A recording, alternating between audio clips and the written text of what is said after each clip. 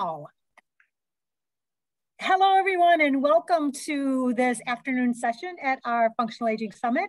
I'm Debi Pillarella, and I am here with my colleague, Dianne, Dr. Dianne McCaughey. Our session today is called Group X, Old Methods, New Science. And Dianne is gonna navigate our slides, and I'm gonna just kind of talk at the beginning. So uh, we're gonna just give a little overview of what our goal is in this presentation. So as you can see on your screen, we're here to help you understand how we combine fundamental principles of social cognitive theory with evidence-based older adult physical activity research. And again, you've known that if you are certified through FAI, um, we're gonna bring that to the forefront and really show how we integrate these elements so that we can teach you how to create valuable group exercise experiences that stimulate these cognitive and these functional domains. There's six functional domains we're gonna talk about while emphasizing cognition and obviously, and most importantly, fun. Love so as I said, yeah, thank you, Di. As I said, my name is Debi Pillarella, and presently I work for a, a large three hospital healthcare system in Northwest Indiana. I'm the director of their bariatric service line as well as medical fitness, where we hold a number of older adult types of offerings, whether it be small group, one-on-one, or group X, which is where we got a lot of our ideas for today. Um, I am also a master trainer for FAI and the American Council on Exercise. And I'm gonna let Dianne give her introduction. So you guys, this is Dr. Dianne McCaughey, my colleague. Thank you. Deb and I have been working together for years. We actually started with the Aerobics and Fitness Association of America many, many years ago. Uh, Deb is in school now, joining our ranks, so soon to be called doctor as well. So very Maybe. proud of you. Yes, you will. so Deb is more in the medical world. I am down on the ground floor where I am with geriatric patients. My eldest patient who just passed away was 106. Uh, I have eight uh, clients that are in, well into their 90s. I also am a master trainer. Deb and I also sit on the advisory board for FAI and for the American Council on Exercise. So a lot of education, and we are so excited to be here. Absolutely. So I'm going to start talking about more at the high level to begin, and then we're going to kind of really trickle it down to give you very specific things that you can take home and use today, tomorrow, or the next day. So we're going to start by talking about this thing about social cognitive theory. And one of the things that we have learned is that even though Group X is fun and it's, you know, engaging and it's just uplifting, you know, there are very key underlying fundamental principles and theories that are embedded as well as contributory to why we do what we do. And so this slide really speaks about what we call the trifecta or the environment, personal, and behavioral aspects of social cognitive theory. You know, if we were going to ask you what is one of the most important things why group exercise is alive and thrives, it's because because our participants feel connection, they feel purpose. And even though we have come out of such a very dark, dismal place, look at how we have all beautifully pivoted and still maintained how to be together within a distanced environment. So our environment, our norms, our access to our community, whether it be in person or how we've pivoted to be virtually, really influences each other, right? And, and there's this bidirectionality. And you can see from the slide, the arrows that go back and forth because our environment and with which we're working in right now in group X we're talking about it affects how our knowledge is, what our expectations are,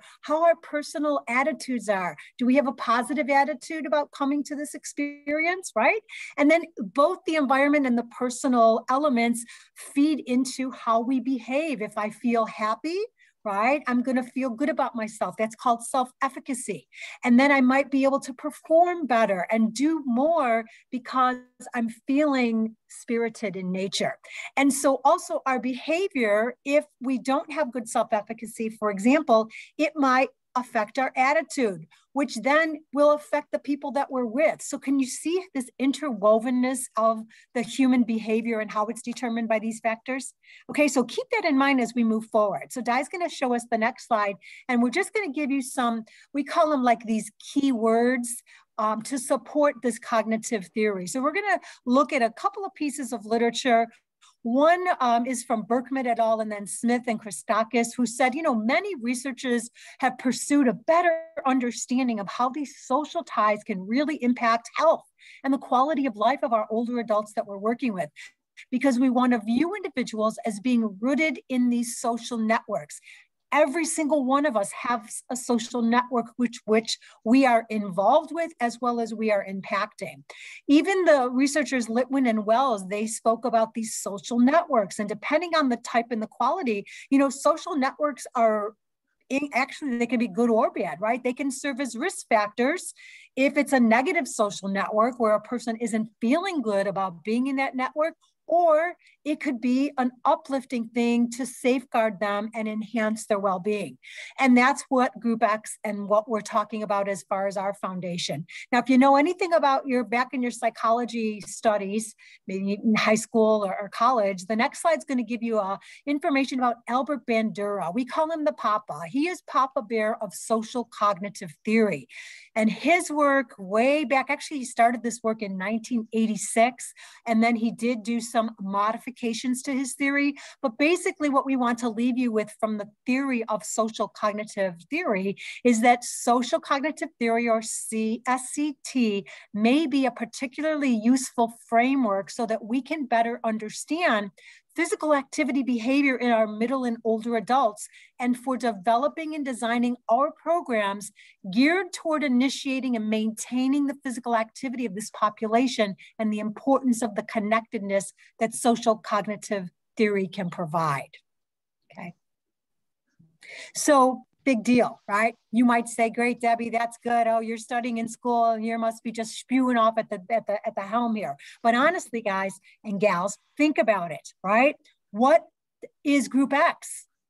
It's socialization. It's the way people can come together, whether they're side by side or virtually on a screen. I know that we're mic'd, right, or muted, and when we can't see our video with you at this point, but we know you're there right? And we know that what we're talking to and talking about is impacting you in some way, shape, or form. So, Group X, the big deal is that we are being social, and it's a very important element for what we do in addition to our physical activity. So, Dianne's going to talk to you a little bit deeper and how this all kind of plays out. Yeah, and I just wanted before we move on, just to tie everything Deb is saying and to tie everything into where we're going. Again, we're not sure what certifications you have. Hopefully, you have FAS. Maybe you want to come and get the Group X. Not sure if you have the brain health trainer dealing with the cognitive aspect and um, have no idea if you have any coaching experience. Deb and I also teach the behavior change for the American Council on Exercise. Extremely important. Ryan Glatt in cognition also believes that behavior change is a piece of cognition. They have to go hand in hand. So when you look at that social cognitive theory, not only where they are today in their groups, what was their childhood like? What are their belief systems? What kind of thinking do they have? Because remember, your feelings and your thoughts create your emotions. Your emotions create your actions, and your actions create your outcomes. An example is I have a woman, I say that she has stinking thinking. She's had it from childhood.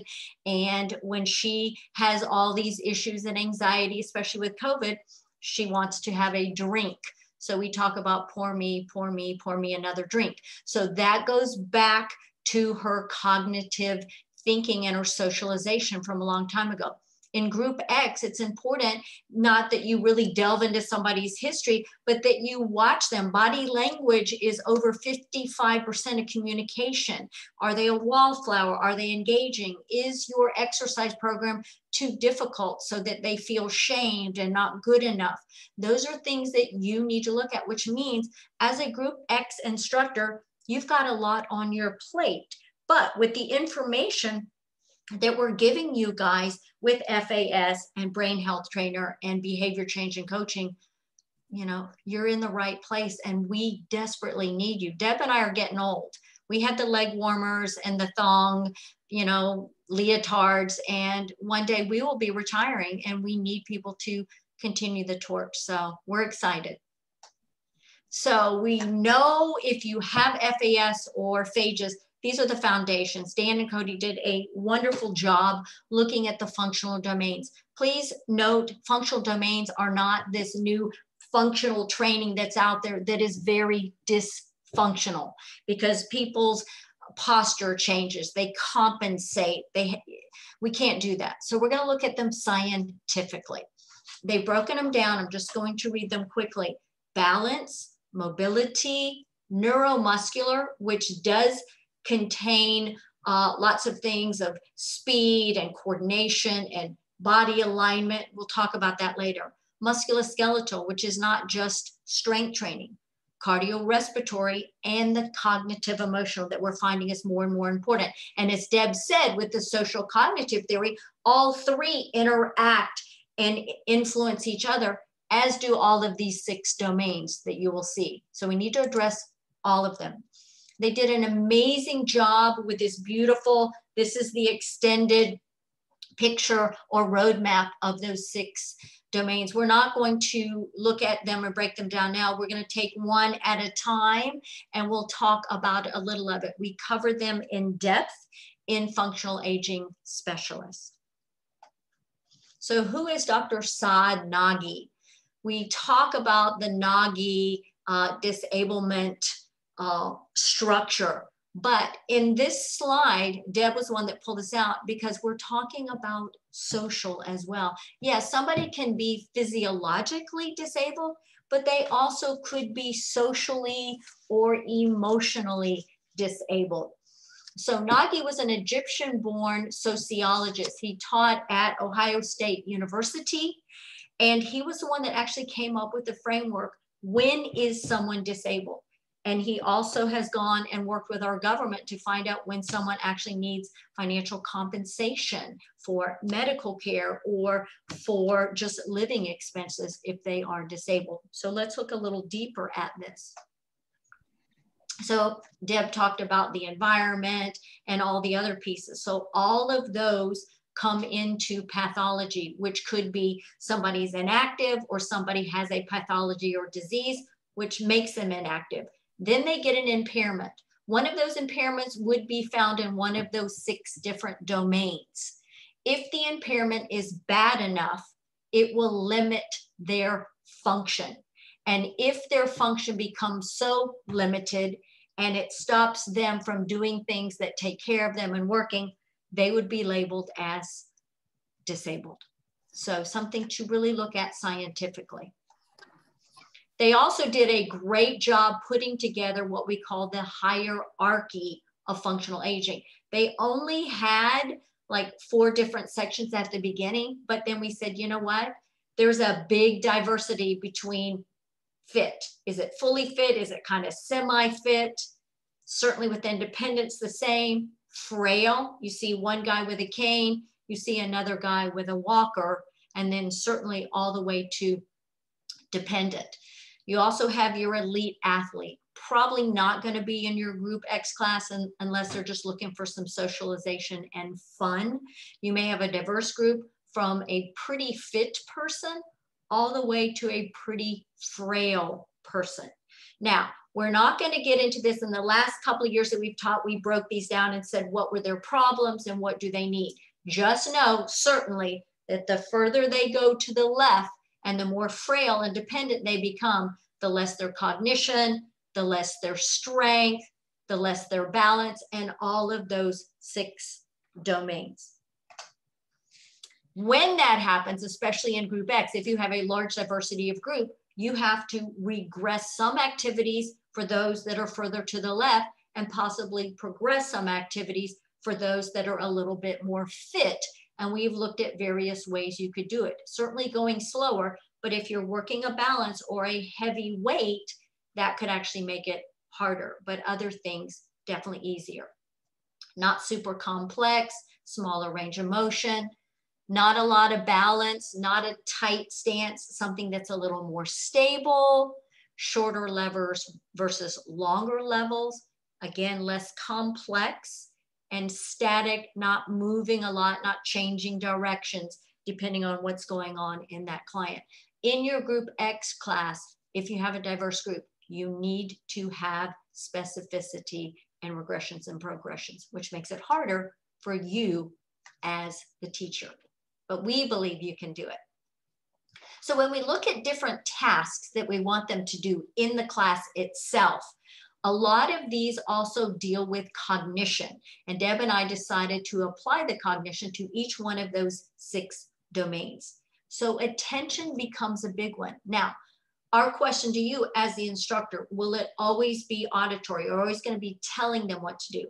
Are you going to show big cards? Or are we going to have uh, stations with signs? How are you going to do that? If someone doesn't see well, certainly, yeah. And we have the giant cards. You can get them on Amazon. There's so many fun, cool things that you can do.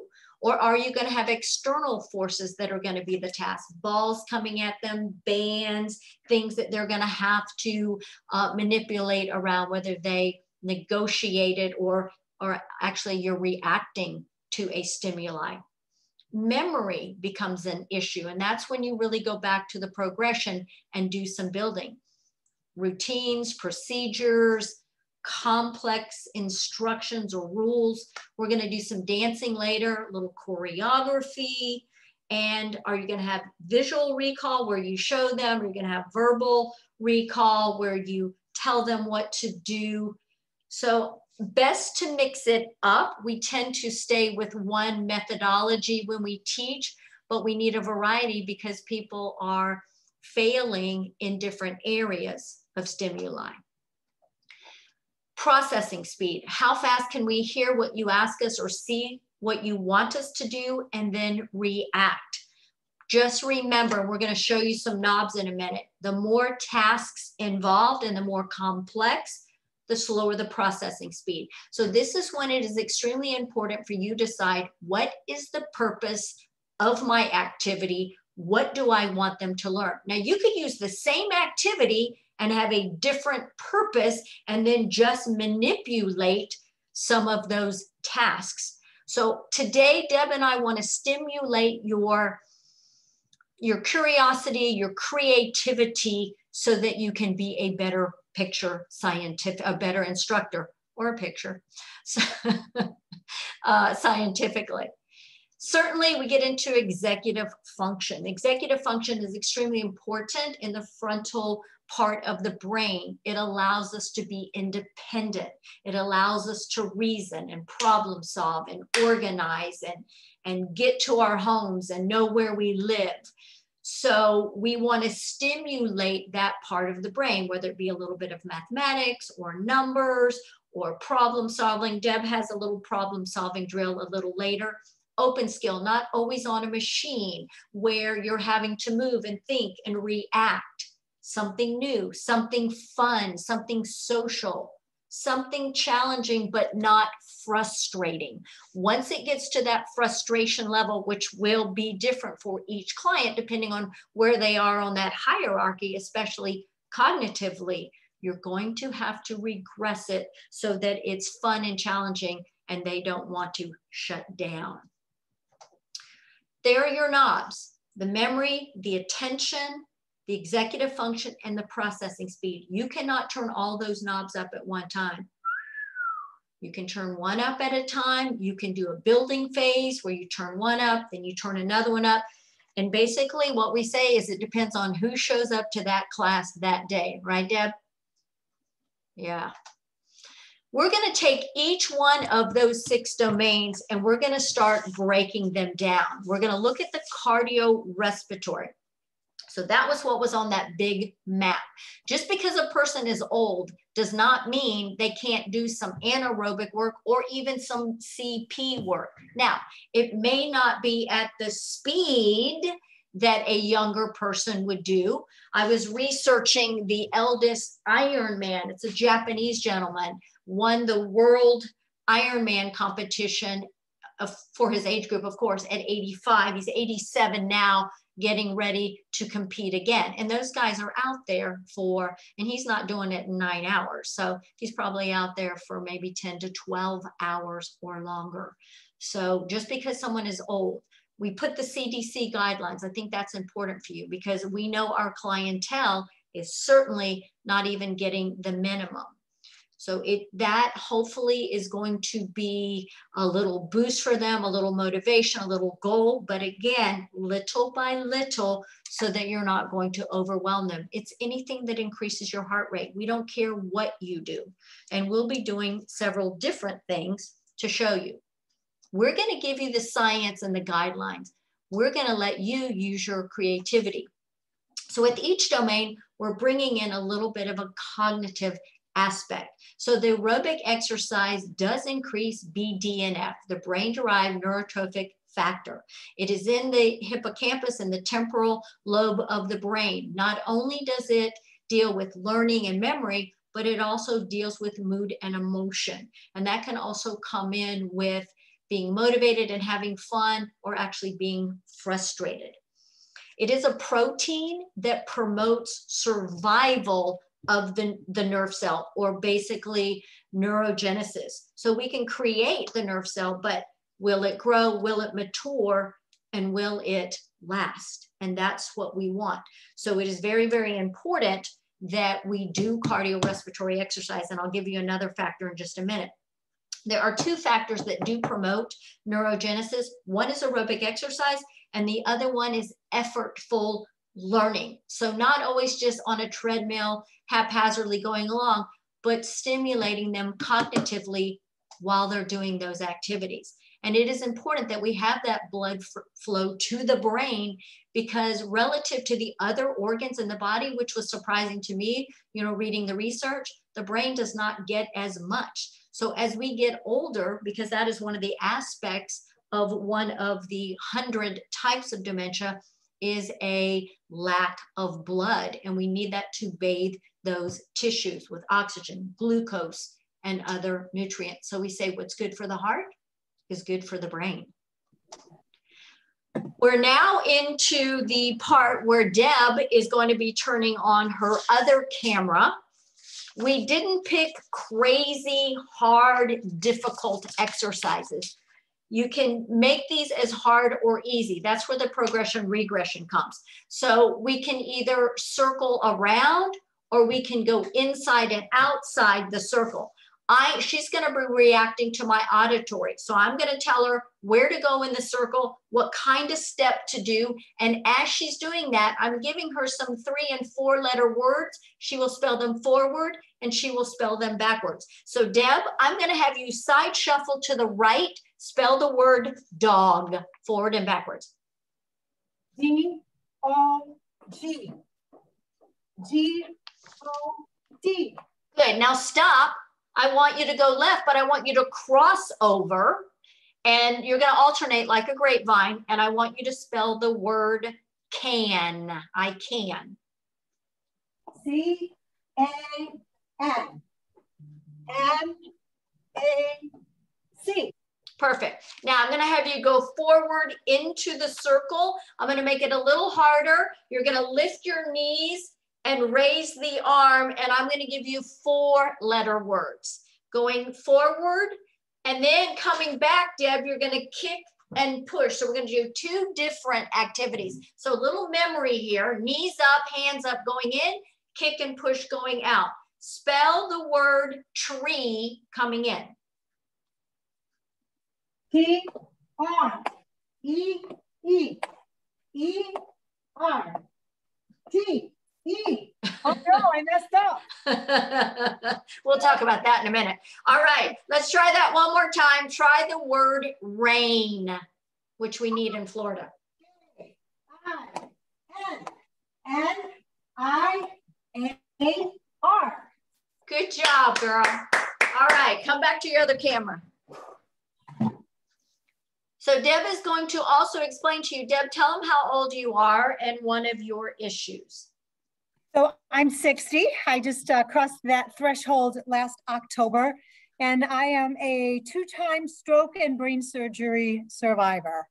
Um, I have a brain disorder called uh, cavernoma disease, where the vessels of my brain, for some reason, um, misbehave, and when they leak and hemorrhage, if they leak, no big deal. Well, yeah, a little big deal, but if they hemorrhage, then it's another brain surgery. So again, My two brain surgeries and my two hemorrhages were my cerebellum.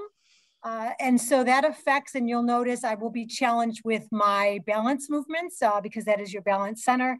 I have a lesion in my frontal lobe. So as Di was saying, all this work is, I've been doing this type of therapeutic work since my first hemorrhage in 2000. So um, people look at me and I do an amazing job with the deficits that I have. And honestly, without this work, repetitively, I don't know if I would be half the person I am today. So thank you for um, miss, my miss, accepting my misspelling of tree backwards. exactly. And so this is so great. So the age doesn't matter. Certainly you can take activities like that. If you have super fit people, man, they're going hard. They're running sideways and they're crossing over. And you could have several circles and group your people according to their hierarchy and their impairment factors and their six domains. All right, next slide. So now we're going to work on musculoskeletal. As I said, people think like that's just strength.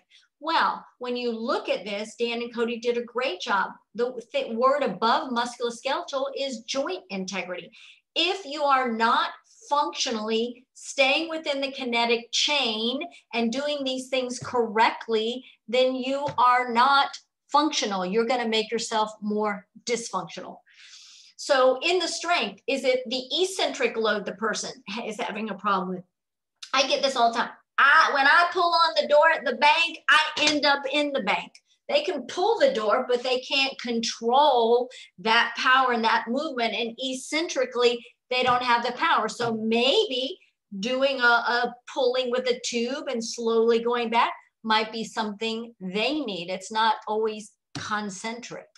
What is their range of motion? I, I watch the older people working out in the gym without a trainer. It's like, you know, I always want to say, do you have a license to operate heavy machinery? because they need one and we are that license to help them. So everybody always asks me, what's e-concentric? So e-concentric is a contraction where a muscle crosses two or more joints and at one connection, part of the muscle is doing an eccentric contraction and at the other end, it is doing a concentric. An example would be in a squat. So when you're down and you come up, your hip in the front is opening. So your rectus femoris or one of your quadriceps is stretching and yet at the knee, because the knee is extending, that part of the quadricep is contracting. So you'll be having multiple, you'll have a concentric and an eccentric known as e-concentric contraction. So hopefully that takes care of that. Yes, we need speed. So if we want strength, we go slower. Speed must be controlled. And I know that being a martial artist, full speed, as fast as you can do it, controlling your strength. So let's look at more of this. There are your CDC guidelines two or more days a week. That's all your muscle groups. So you're going to have to figure that out.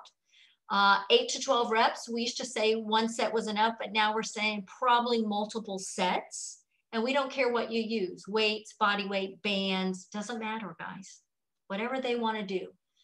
Four things you want to ask your client. Number one, does this work? What you're giving them, does it work? You have to figure that scientifically. Number two, is it pretty simple? Number three, can they physiologically do it correctly? And the last and the most important, will they do it? That's your homework for them. Let's look at resistance training and cognition. I kind of talked a little bit about some of this when I was looking at aerobic exercise. So resistance training has been shown to help with executive function, which is very important with independence, function, uh, and memory.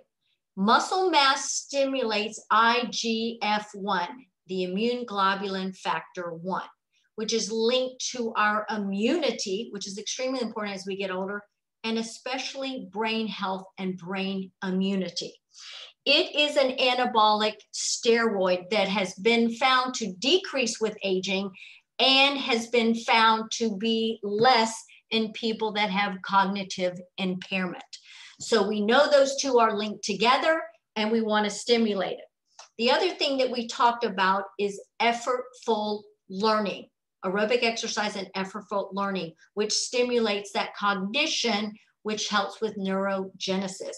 And research has shown because you're thinking about the muscle and the posture and what you're doing much more than a lot of times when people are doing aerobic exercise, that this can enhance cognitive function.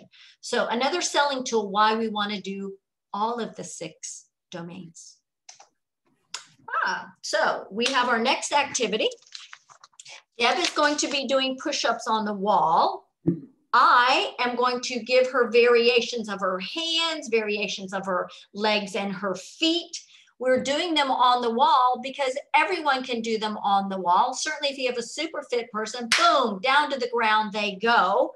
And all they do is change the vector angle, like if you're on a TRX. So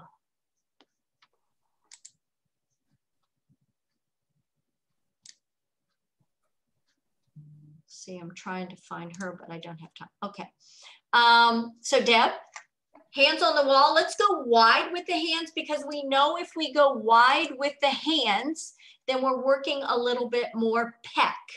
I'm just gonna have your feet in a comfortable position and to make it a little harder, let's put your feet back, increase that vector angle. Make sure your hands are not too high because I want your scapula to be down.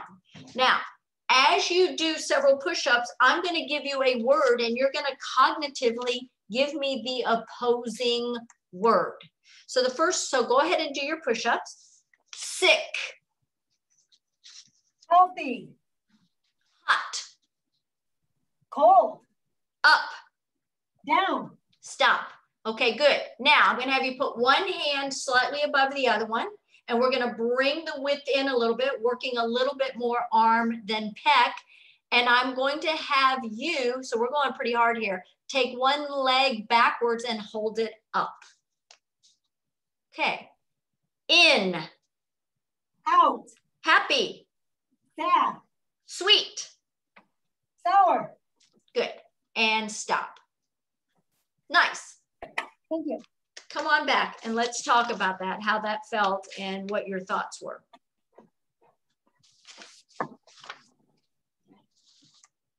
Okay.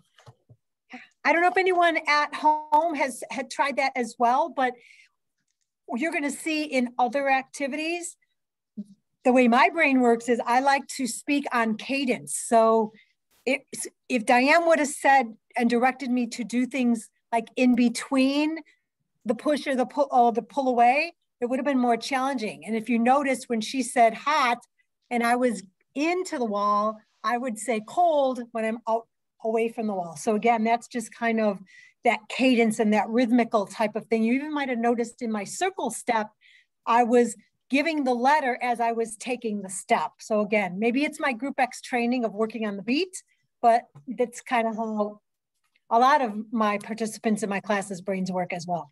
Yeah, and that could be a great progression once they get the activity to make them continue and to throw those, fire those things in a faster processing speed.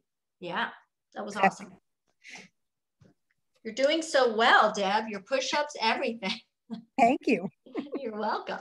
So now we're going into balance. And when you look at all that, it's like, whoa, because balance is not putting someone on a BOSU. Now, I'm not going to sit here and trash BOSU, but one of the things that we have to understand is foot stability. And a lot of our elder clients have no ankle ability, calves are too tight, and no foot stability. And the surface space on a BOSU is too small unless they're pretty good and they can stand on one leg, bada boom. So we need you to scientifically look at all of this. The guidelines are two to three days a week progressively. Don't throw somebody in a certain thing until you've looked at the fundamental principles, which we're going to talk about that. We don't want just static balance. We need dynamic balance. Most people fall when moving, not just standing on one foot, reaching up for something. Uh, challenge their center of gravity, turning. And the other thing to look at is do they have some type of vestibular issue when turning the head? Do they get dizzy or some type of head dizziness with head turning, which is, you know, there are many, many different types of reasons that people have dizziness. So that also needs to be checked on as well. We want to move the center of gravity. We want to stress their postural muscles and do all kinds of things like that. Now, I'm going to talk a little bit specifically about some of these things. They're covered a lot more in the FAS. This comes from Dr. Deborah Rose's Fall Proof out of California. Your three balance centers, we are mainly visual dependent as humans. That's why we fall at night. That's why we fall when things get dark and we have pathology in our eyes. The vestibular system, the inner ear, which determines are we moving, is the earth moving, and we challenge that through head changing. Somatosensory is the bottom of your feet. You'll hear Dr. Emily talking all the time about doing things barefoot. When you put somebody in an orthopedic shoe and they already are diminishing those sensors on the bottom of the feet, we make it worse. So when I do a lot of balancing with my clients, uh, sometimes I like them to take their shoes off, especially if it's in a clean environment or have them do that in a one-on-one setting. You want them to be proactive in their movements, know how to do this, but sometimes reactive, where you might throw them a ball or try to get their center of gravity off because that's usually when they fall is when they're you know reacting to something coming by. You definitely need some endurance, strength, and flexibility, some fitness. Your three postural strategies. Elderly people do not have that ankle movement. They don't use their hips to try to keep from falling. They try to step and they're too slow in their movement patterns. So we would actually work ways in fall prevention and we cover that in FAS as well, or look up Dr. Deborah Rose fall proof course.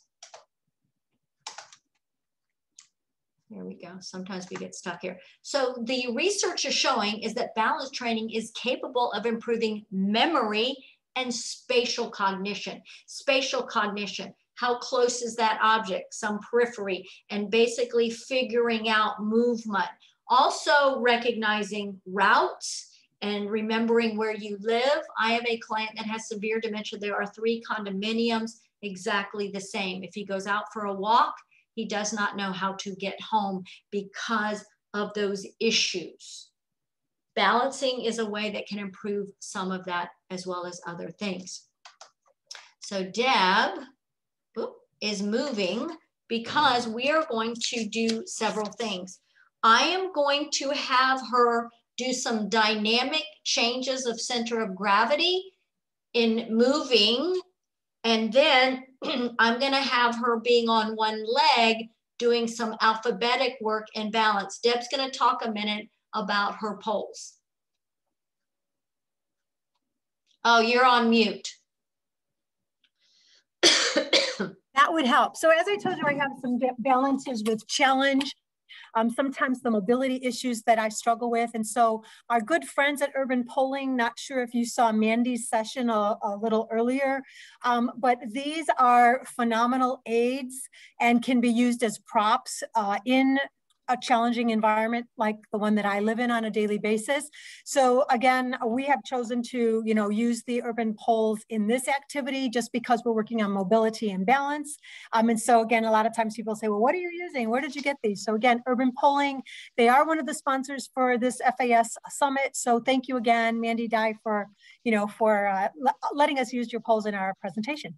Thanks, Dye. All right. so the first thing Deb is going to do is she is going to walk on her toes on the balls of the feet down. I'm only going to have her take, excuse me, four to six steps.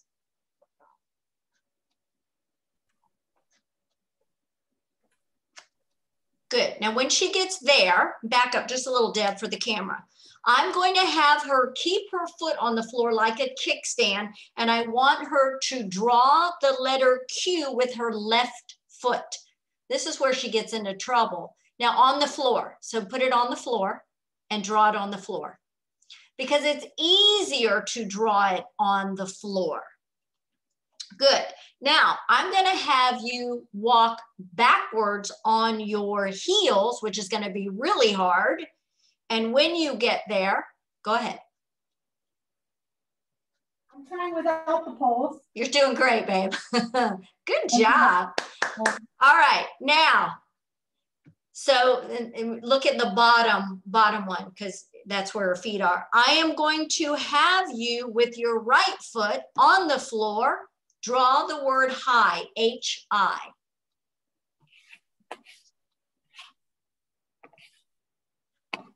So on the floor, she is okay. Very, very good. Now, I'm going to have you do a step, shift, touch, step, touch. So you're going to walk in a slow mo and bring the foot over and touch ankle to ankle. Very good. Her balance has improved a lot. Oh my gosh. I had to do all the balance for stop. Good. Now in the air, and you may need the poles for this, you are with your right foot, you're going to write the letter T, something you drink, T-E-A.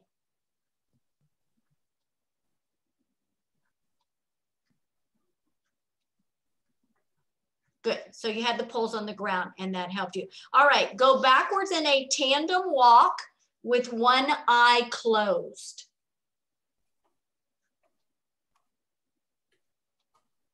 So you can see that she's popping those down just a little bit. Beautiful. And then in the air with your right foot, write the word car, C-A-R.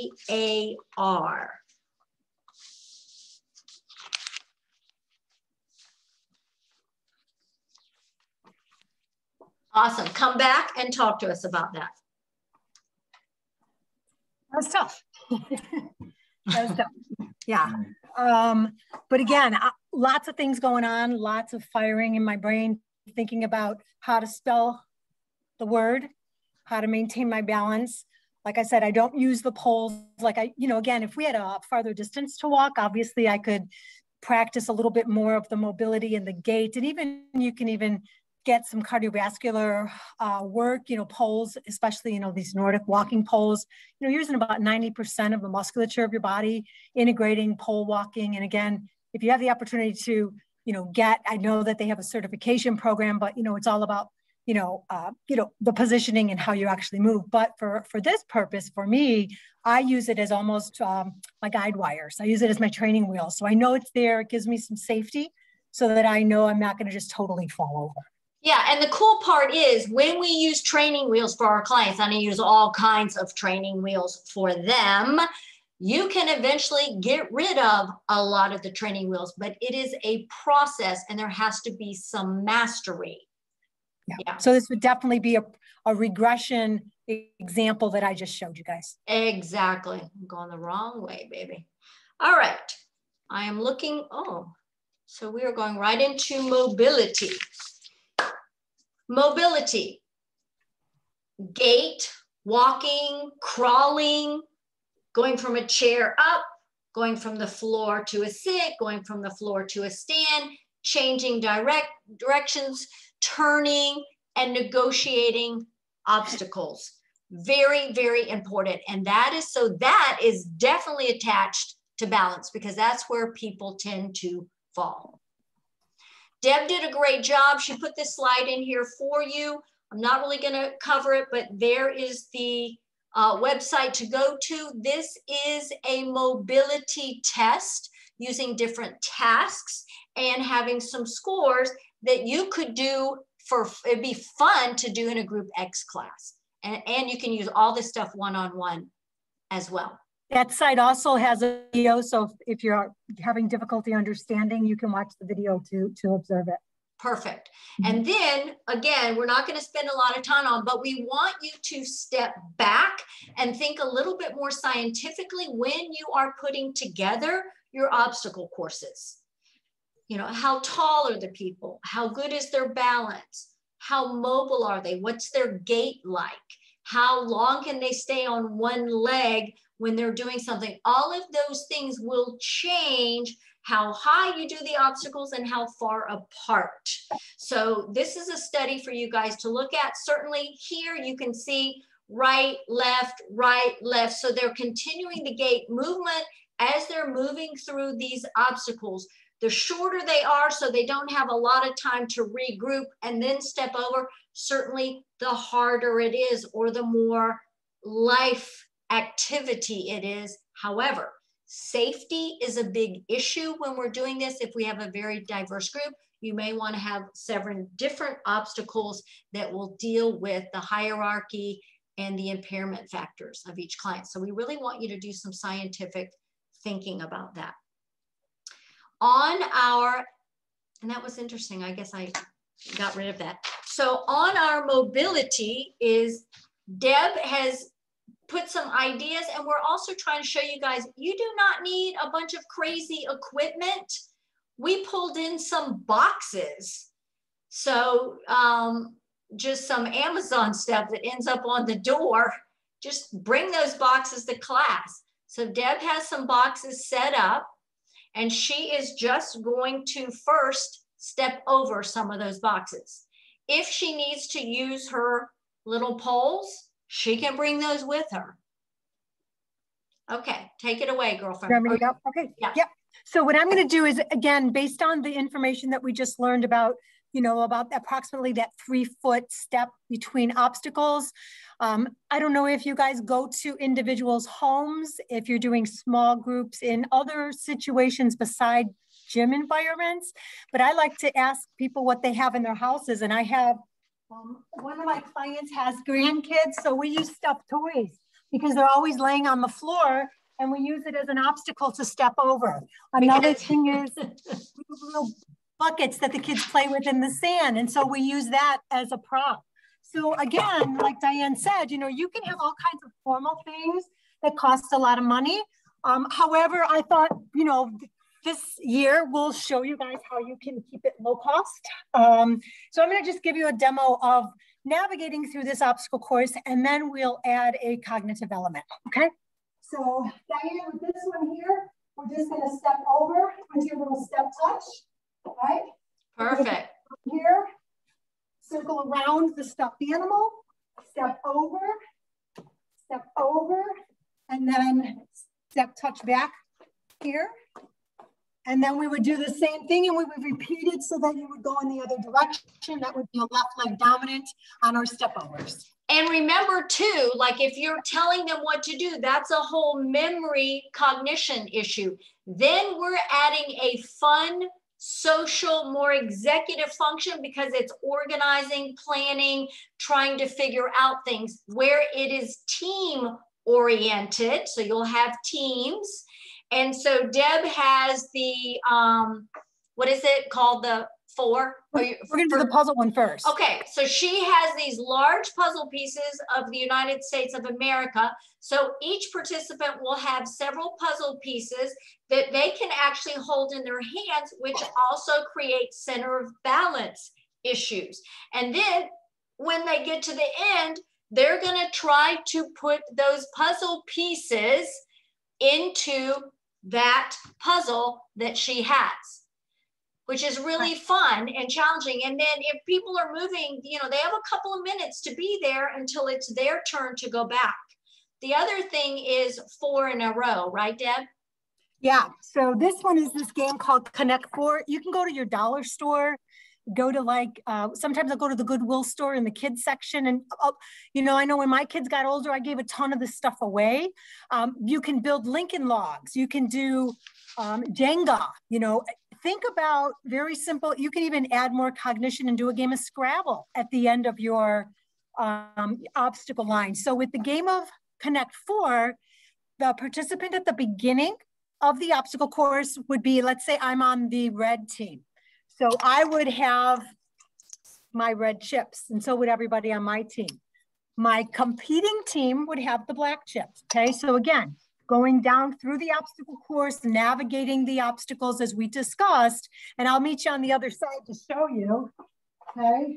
So I'm gonna do this, I'm gonna go around, step over this, step over this, come back. Let's say here, I have the state of Texas. So cognitively, I need to know uh, Texas, south, west, stick it in, right? And if I'm doing the connect four, I know here, the goal of this game is to try to get four in a row. So you can see um, there's not four in a row anywhere, but I can start here and you can go, just like, you know, a game of uh, tic-tac-toe. Exactly. Clear diagonal. Exactly. Any team will come down and they would do black. And so again, just adding that cognitive piece to Awesome. Thank you, Deb. Yeah. All right, so we're on a time crunch here, guys. We're rolling. Neuromuscular. So I had mentioned a little bit of neuromuscular that it's about motor control. You looked at the musculoskeletal and it talked about posture and alignment and those type of things as we do here. Reaction time is what we're going to be focusing on, especially with the cognition, that processing speed. That's what keeps us from falling. That's what keeps us integrated in life, etc. So neuromuscular control is defined as the unconscious trained response of a muscle to a signal regarding dynamic joint stability. Remember, when as you train, you gain. So if you know you're humped over doing something, and your brain goes, I got it. I got it. I know where I'm supposed to be. You have got to start breaking these neuro impulse patterns that people have when exercising. And one of the big ones is scapula up. That's why there are shoulder problems and neck problems. So we're going to show you here when we talked about too much information, all right, TMI, look at the brains. You have a no contact control. They're not really doing anything. Doesn't take a lot of power and energy in the brain. One task, single task, oh, you're getting higher. You got some yellow going on and you've got multitasking. You've got orange and red. Boom, my brain is on fire because I am having to think about all that. And especially for somebody who has other issues, like Deb was talking about her balance and other issues, you know, you really have to think like them, not like us. So I think the more issues you have, the better. So Deb, I'm going to quickly put you in the middle. We're going to do some clock drills and we're going to work on multiple areas of the brain while we work processing speed and layer it. So we're going to start simple to hard. She is standing in the middle of the clock. 12 is in front of her. Six is behind her. Three is to the right and nine is to the left and the other numbers are in there. So Deb, I'm looking for speed, baby. I'm gonna call a number. You tap that number as quickly as possible and come back to center. One, five, 11, 6, 8. Now, I could do a memory thing. I'm going to do several at a time. 1, 8, 11. She hadn't lost it yet, has she? 12, 6, 4, 9. Beautiful. All right. So that's one way of layering it. Now I'm going to work a little bit more on your executive function. I'm going to give you a math problem the sum or the answer, simple addition, subtraction, tap that number. Three plus one. Four. Six minus three. Three. Six plus six. Twelve. 12 minus three. Nine. Beautiful. All right, now I'm going to give you a number. You have to think, is it odd or even? If it is an even number, stay with the program, tap it. If it's odd or a little different, you're going to step over and step back. Do you understand? Yes. Okay. Two. Correct. Five. Yes. Seven. Four. Ten. Seven.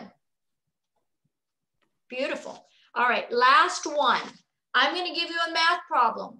Find the answer, decide if it's odd or even, and do the appropriate step. You with me? Two plus two. Four. Three plus two. Five. 12 minus six. Six. 10 minus five. Five. Beautiful. Good job, girl. Come on back.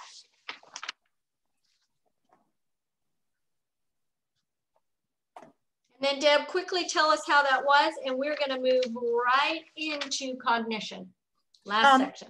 Well, just because we practiced on Sunday, I didn't better today. and we really have not practiced a lot. No, so. but again, as you could, you guys could see the progression and adding the cognitive and layering it on top of the multi-dimensional type of tasking, that's where we could get a little tough. Yeah. It was great, a lot of fun. Awesome. So we're moving it into the cognitive emotional. Final. Yay. And we decided that dance movement therapy was just going to be the best. And it's also known as movement psychotherapy. So when you look at the module here, it's motivation and confidence, memory, a little bit of problem solving when you're thinking about where to go and what to do. And we're going to look at pain or pleasure when we look at music and other aspects. So some of the benefits here. Uh, depression goes down. It supports a lot of those brain functions. Memory stimulates nerve growth, increases coordination, and definitely improves fall prevention. So Deb put together, you have this on your PowerPoint, and you'll get the PDF file. And also at the beginning, Deb and I have our email. So if you guys have any questions, please email us so we can help you and answer all your questions. So you can Google these, you can tap on them, whatever, and you'll see the instructor explaining everything. Deb and I decided that we wanted to do the Macarena. Don't ask us why. it goes back to our leg warmers. So I'm, Deb, go ahead and explain the dance quickly, and then I'm gonna put on some music so everybody can stand up where you are and let's dance together. And, and we have one little final thing and, uh, and then you're done with your Friday. Right. So again, thank you for sitting and tolerating the entire session. We know we've kept you a little bit longer, but if you recall the Macarena or if you've never done it, basically it's a right-left type of a uh, rhythmical pattern. So the palm goes down, the palm goes down, the palm goes up, the palm goes up, hip to hip when you cross over. Then it's back of the shoulder to back of the shoulder. Then it's, did I do this? No, yes. yeah, so head, head, uh-huh. Yeah, head, head, and then uh, hip, hip, hip, hip, cross over, cross, hip, hip. Hip, hip in the front, hip, butt, hip in butt. the back. Yep, one, two, three, clap and turn left. And turn left. Yeah. I need the All music. I move on music. All right, baby. Now, remember, the music that goes into Zoom is just one thing. Just follow Deb. You should be hearing the same stuff. On. Yeah, we're not going to do like all the minutes of it, but you kind of get the idea.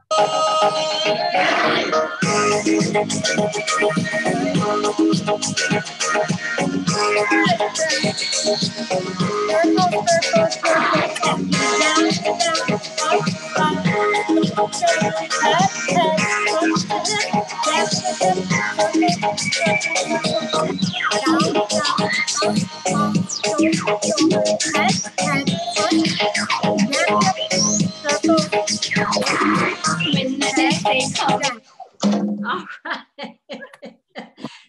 right. So yeah, that's memory from routine. I'm sure people have remembered and recalled that from dances and weddings and things. But Dianne, it doesn't always have to be kind of a rehearsed choreographed, right? No. Tell us about that. So, to finish us up. Okay. This is Betty. Betty is 94. She's been my client for over 15 years.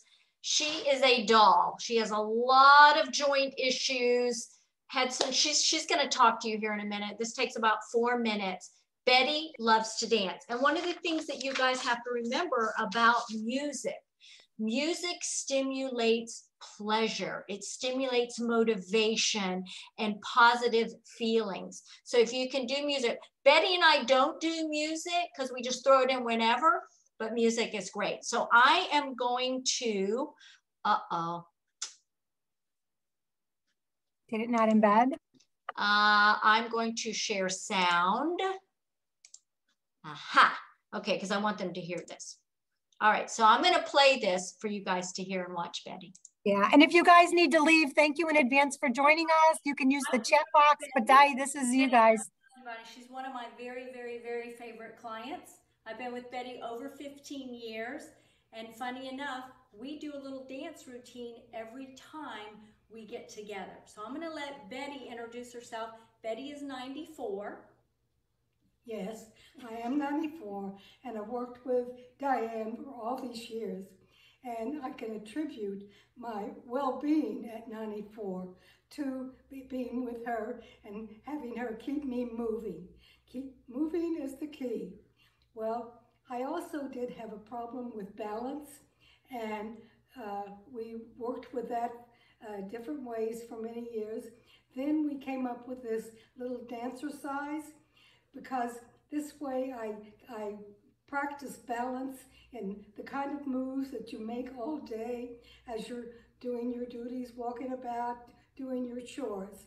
And it helps me to, uh, to, to learn my balance, shifting weight, turning, going backwards, making all those moves that you need to move, need to do. And, uh, and you, I can exercise, do exercises, and can, I can have pain along with them. I have no pain whatsoever when we do this. It, it, it does me a world of good.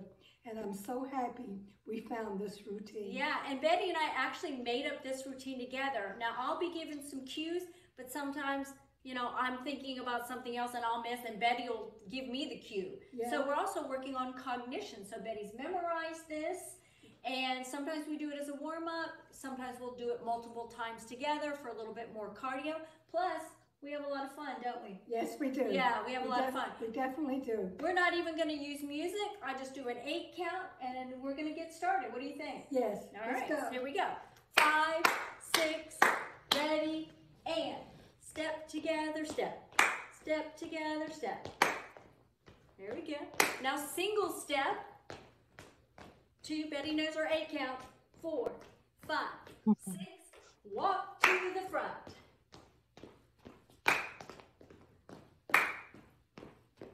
Knees up. Kick out. March out.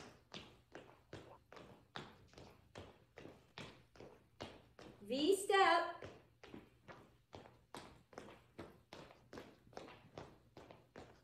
Grapevine.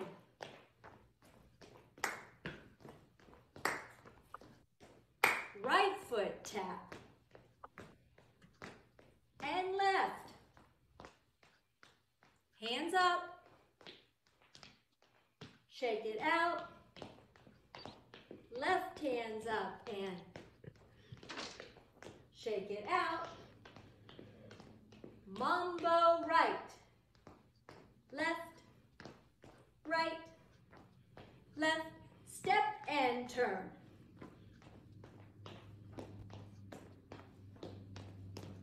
Walk to the front.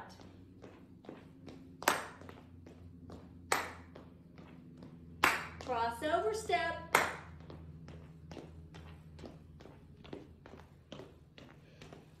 Heel, toe.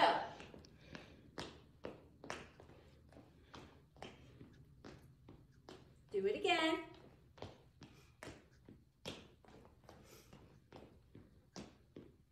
Box step.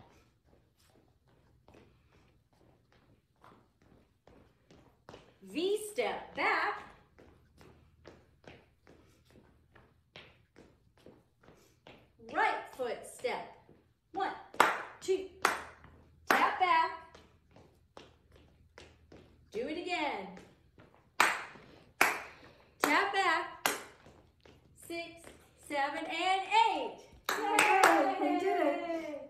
Good job. Betty. Yeah.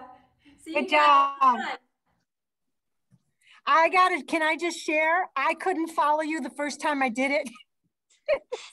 That's a pretty long routine and she has it memorized. In fact, I was with her yesterday and I was thinking about this conference or something else.